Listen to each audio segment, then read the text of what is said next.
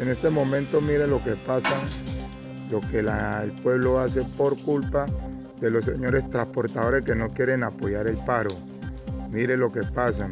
¿Por qué? Porque en la madrugada, en la madrugada salieron varias mulas escoltadas con el ESMAD y el ESMAD y la fuerza pública atacó a toda la población de Buenaventura de barrios aledaños. Y mire la gente indignada por los conductores que no quieren apoyar el paro.